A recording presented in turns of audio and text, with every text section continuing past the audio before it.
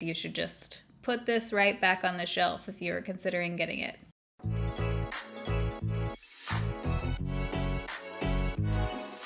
All right, so today it's Foundation Friday. If you're new here, I have a whole Foundation Friday playlist with hundreds of foundation reviews. And today I'm going to be doing kind of a summary compilation 5 in 1 foundation video.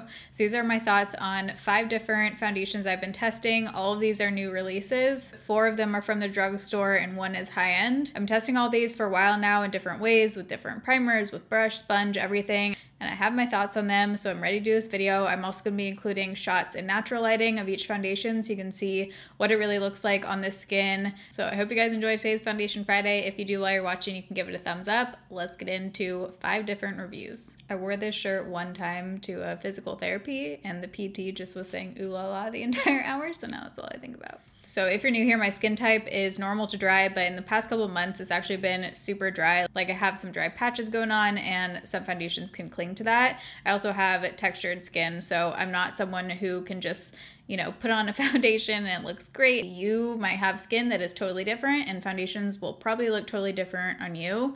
I can speak from that firsthand. My skin before Accutane was oily, and foundations would look totally different on it that now I can wear, or vice versa. So let's start off with the foundation that I'm wearing right now, which is the new CoverGirl Outlast Extreme Wear 3 in 1 Full Coverage Foundation. So I initially picked up the shade 805, which ended up being too light. I now have the shade 810. I think I'm kind of like in between those two. I think 810 is a little bit dark. I can definitely like see it, you know, on my neck when I wear it, but I would rather have my foundation be a little bit dark than a little bit light and just look ghostly. This foundation retails for 1050, has one fluid ounce of product, which is standard, and it comes in 21 shades. This foundation has SPF 18 and it's basically described as a full coverage, transfer proof, sweat proof, 24 hour wear, humidity proof, covers imperfections. It's basically supposed to be a full coverage, very long lasting, and like resistant kind of foundation. I do think this foundation is full coverage. I'm gonna insert a photo here of a morning when I was coming out of a migraine and I had a hot pack on my face that whole morning so it was super red.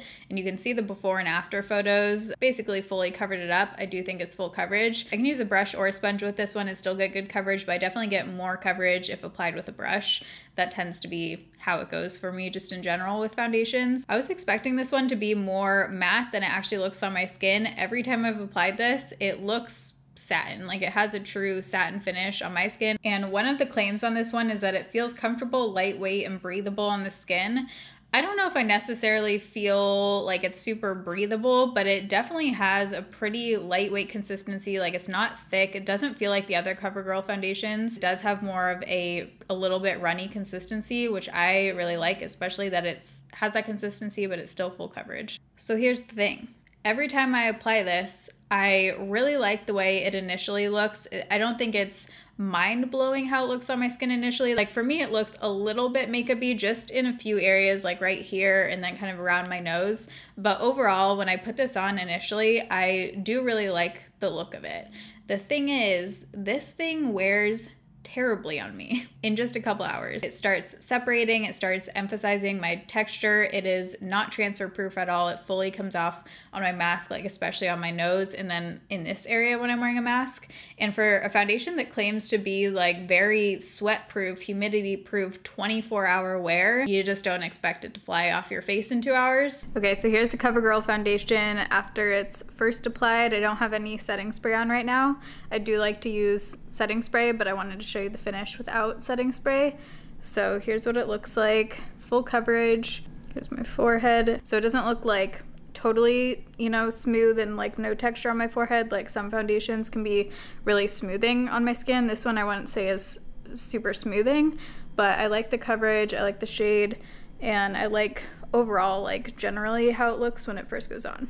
Okay, so I have the CoverGirl foundation on right now. I've only had it on for three hours, and this is probably like the I don't even know, 15th time or so that I've worn this, so I have my thoughts at this point. But I wanted to show you guys because it's only been on for a few hours. All I did was go to the doctor's and I had a mask on, obviously. And this is what it looks like for only a few hours of wear. So as you can see, for supposedly being like a you know long lasting, long wear foundation, it fully rubs off every time I put a mask on on my nose. And then my forehead just looks pretty crusty and also just like kind of separates and wears off and doesn't look the best between my eyebrows. And this is only a few hours in. It looks much worse like, you know, six or eight hours in. And I'm aware my eyes are super red today. And then it just looks pretty crusty and like almost patchy on certain parts of my face, like over here. And I don't even have blush on today. I have on like a little bit of bronzer and that's it. But it's just, it doesn't wear well on my skin at all. I've tried it with different primers. A primer that seems to be working really well for me with other foundations right now is the e.l.f. Mint Melt Cooling Face Primer. This is like a gripping primer, and even that one didn't help the wear of this foundation. I've tried it with different setting sprays over top. This foundation just doesn't wear well on my skin, which is unfortunate because, again, I like the coverage. I like how it first looks when it goes on, but it's just one of those that I'm super ready to clean off my face in a few hours. If you guys have tried this foundation, let me know how it wore on your skin and what skin type you have. I'm always curious, and that goes for any of these foundations. It's always really helpful for people if you comment that down below because you guys can kind of like read through the comments and see what other people's experiences were. So for any of these foundations, definitely comment down below how they worked out for you, but put your skin type and put what kind of skin you have because without that information, it's not as useful, you know? So let us all know down below. For the second foundation, let's talk about one that's kind of a polar opposite in claims and everything to the CoverGirl foundation. This is the Milk Makeup Sunshine Skin Tint SPF 30. First up, let's talk about this packaging because it's very unique. I've never seen a foundation in this kind of packaging. So what you do is you obviously take off the lid. You actually push this up from the bottom and then there's a little ball up here that you just like roll it on your face and it feels nice and cooling. But if you don't use all of the foundation that comes out once you pump it, it does get a little bit messy because then you just have like foundation chilling up there in the packaging. This foundation retails for $42, but here's the kicker, okay? You get half an ounce of product in here. half an ounce of product for $42. The standard amount of foundation or any kind of like tinted moisturizer, whatever, is typically around an ounce. That means for a full ounce of product, this would be $84. So that's definitely something to consider very high up on your list. But there's a couple cool things about this. It is recyclable packaging and it is coral reef safe and it has SPF 30. So if you're going to Hawaii or somewhere like that and you want just like a lightweight product with SPF that you could wear in the water safely for the uh, environment, then this product is reef safe. It has 14 shades, which is not great. A lot of products that are like skin tints tend to kind of get away with less shades or not really get away but they they market it by saying like it's lighter coverage or it's sheer it's a tint so it can be adaptable to different kind of skin tones. But the thing is this shade is the lightest one. It's the shade fair and it still looks like a little bit too dark on my skin tone so because we'll get into the coverage and stuff in a second but most products you can kind of still tell if they're a little bit too light or a little bit too dark so 14 shades is not great. So as far as coverage, I would say this actually has like the perfect amount of coverage for being a light coverage product. If you want to sheer it out, you can put less on, but you can get like decent coverage for a light coverage product if that makes sense. Some light coverage is just kind of like why am I putting this on? This one it's still evening out my skin tone and it looks beautiful. We're getting into the finish here. This is one of those light coverage products that just based on the look of it, I do love because it looks like skin. It's pretty undetectable on the skin. It gives a really pretty glowy finish, but you can't see the product like sitting on top of your face. And that's exactly what I look for if I'm using a lighter coverage product because if I'm going to be using light coverage, I don't want you to be able to see like the texture on my skin and see the product clinging to it. And this is not one of those products. This looks beautiful on top of the skin. Okay, so here's what the Milk Makeup product looks like in natural lighting. It is about half a shade too dark for me, but I feel like it's wearable. The undertone is right. Definitely very glowy. I like that personally. It doesn't bother me. I prefer a glow. I do have on a Charlotte Tilbury um, liquid highlighter, so that's adding some like extra glow, but I didn't put that on my forehead. So all the glow you're seeing on my forehead is just the product. I personally like this amount of coverage for just day to day with adding on like a little bit of concealer. I did add concealer to my under eyes, the NARS concealer. Right here tends to be my problem area. And this one sits really nicely between my eyebrows. It looks really nice on my forehead, just Looks nice and glowy, very natural. I think this would be a really pretty summer foundation. Another thing I really love about this is that even though it is pretty glowy, like it definitely has a dewy finish, it is one of those dewy products that actually sets down not in a way where it's like a powder finish or totally not tacky. It does have a little bit of tackiness to it, but it's definitely not slippery. It's not sliding around. It does feel like it's on there almost a little bit in the way that like MAC Face and Body feels. And this does have more coverage than MAC Face and Body if you want to kind of compare it to that. It doesn't have terrible transfer. It isn't fully transfer proof. Like you are going to get a little bit coming off, but it's not to the point where you take off your mask and like you can see, you know, lines or like a lot of redness coming through like with the CoverGirl. This one for me blends out perfectly with a brush. If I use a sponge with it, it's kind of too sheer, so I like to apply it with a brush. But overall, I, I really enjoy this one, which sucks because it's so expensive. And I'm already like a quarter of the way out of this thing. This one I think was probably the one I wore the most, and I've been testing this one for since it came out, so like a couple months now. But it's definitely one that I found myself wanting to reach for most often. So I actually really enjoy this one. It's just up to you if you want to spend the price on this. I don't know. I don't know what I'm going to do when it's out of it because I do like it. If you want to try something similar-ish, a little bit lighter coverage, but that's one of my holy grails. Try MAC Face and Body. They literally just did a $10 off foundation sale, so you could get it for $23. And oh my god, what just happened? I literally just almost fell out of my chair. Okay.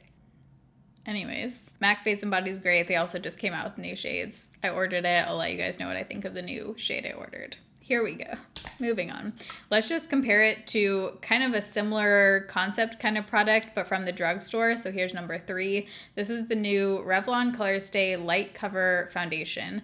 12 hours, natural finish, SPF 35. So this retails for $14, has one ounce of product, and comes in 12 shades. So two shades less than the Milk Makeup one. But again, they did the same thing where they're like, we don't need shades because it's sheer, you know yeah, I have in my notes here that on their website it literally says range of adaptable shades. So I use the shade 130 porcelain in this one and I think they should have actually gone with like a clear top on this packaging because when you open it up, it has the squeeze tube, which again is just reminded me of like a Glossier skin tint or MAC face and body kind of vibe. It's supposed to be light coverage and just based on the claims for this one, it seems like they're going for kind of the undetectable skin like light coverage kind of look, which is what both those products are supposed to be. Mm. So to sum it up, this product is everything I don't like in a light coverage foundation put into one. It is light coverage, but it clings to every ounce of dryness, every kind of texture. It just emphasizes everything when again, if I'm going in with a light coverage product especially, I just want it to look like my skin. I don't want it to look worse than my skin. And this is one of those products where I would just rather not wear foundation than put this on. It is very runny, kind of similar consistency to MAC Face and Body, hence the packaging, squeeze bottle. To the touch, like if you touch your face after applying this, it does feel almost exactly like the Milk makeup. So I like that about this, but I mean, I just would not recommend this product. It looks pretty crappy on my skin. If you have textured skin, you'll probably have a similar experience. If you don't, and maybe you just have nice smooth skin, or if you have kind of more oily skin, maybe it wears totally different. I did read some of the reviews on this one because I was curious, and it seems like overall it's a kind of no, but some people with oily skin do like this one, so probably just depends on your skin type. But definitely don't agree with the undetectable claim. It's super detectable, and you should just put this right back on the shelf if you're considering getting it.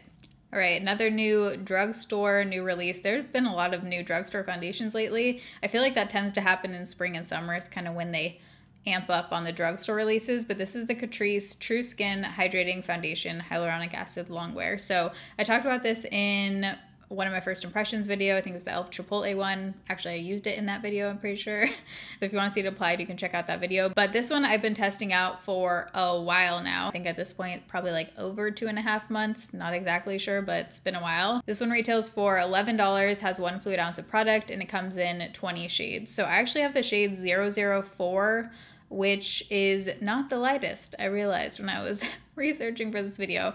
It initially looked like a perfect shade for me when I put it on, but it does oxidize about half a shade. And I feel like once it oxidizes, it does look a bit dark. So I feel like I could go with the lightest shade, which is 002. There's no three, it just jumps from two to four, which this is four. So I think I am gonna pick up the shade two. So they claim this foundation has medium buildable coverage.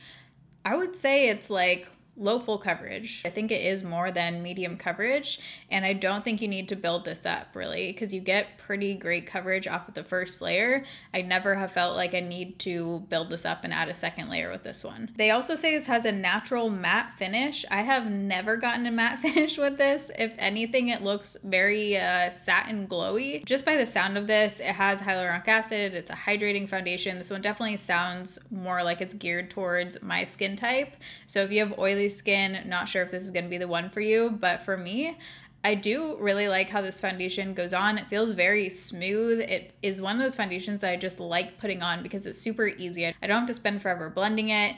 It looks like nice and plump on my skin. I like the coverage. It's just like an easy foundation where I'm like, okay, I want my skin to look good today.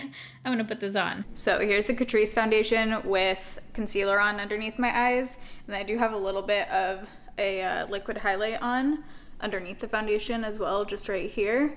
But I love the way this goes on top of the e.l.f. mint kind of primer. It just goes on so nicely. I feel like it almost adds like a little bit of coverage. It grips really well to that primer, but still looks super soft on the skin.